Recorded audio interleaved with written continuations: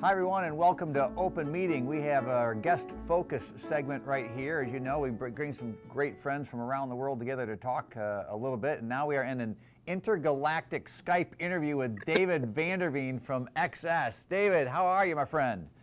I'm great, Doug. It's good to be on the line with you here today. On the line. We got this tech stuff down yeah. pat. Hey, tell us about your latest adventures. You're all over the world with folks. Tell us about some of your latest adventures.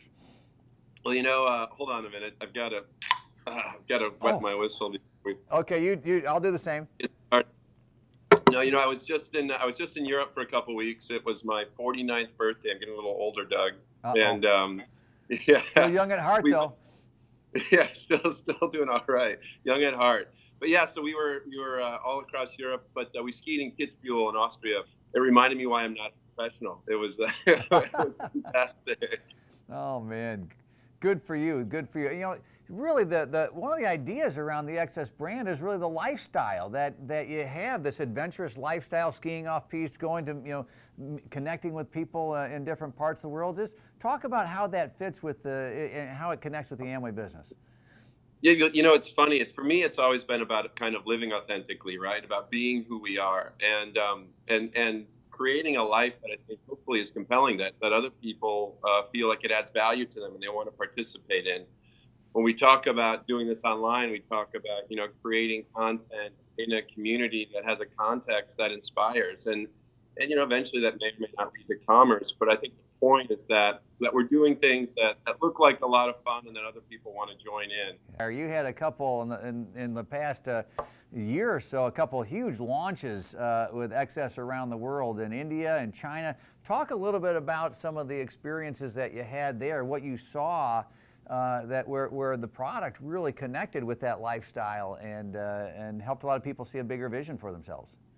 Sure. You know, um, Doug, our, our brand XS has never been about selling drinks, although that's an outcome of what we do. It's been about, you know, being a tool to help people see this business in a new light through the experience we create.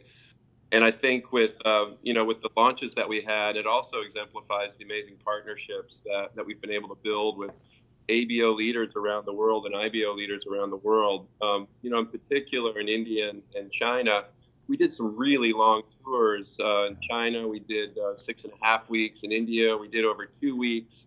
The Indians told me even Indians don't go to as many cities as we did. but the idea, but it's so much fun. You know, every place we go, it's an adventure, and you're meeting new people who are who are looking for ways to really expand their lives and and do more than maybe they thought they could. Yeah, yeah. You know, one of the fun things where those launches and other things that you do, it's fun to follow you on social media and be able to track everything. And, and I think it's such a, a wonderful combination and mix in their business of how technology uh, plays such an important role, but yet it's still about people. Technology enhances the relationship. It's not technology for technology's sake. Maybe you can touch on uh, how you see it and how you uh, uh use and work in that environment.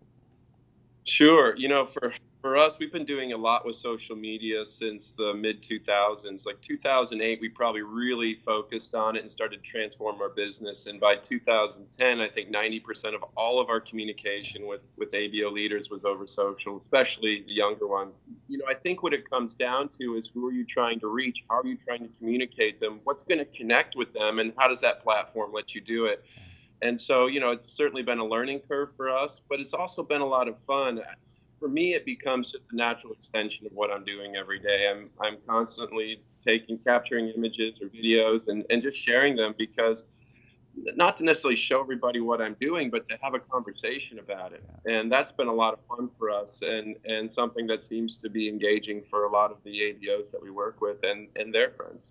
Well, it, you know, you and I, we, we feel the same way. Just the, the joy is for us to have a chance to be with our Amway friends uh, employee friends or ABO friends from all over the world. It's just a joy to be together and, and have those experiences. David, thank you so much for your uh, insights, your experiences, and sharing them with us. And so uh, that uh, concludes our guest focus uh, segment here on Open Meeting. Thanks, David. Take care. We'll talk to you soon. Thanks, Doug. Appreciate it.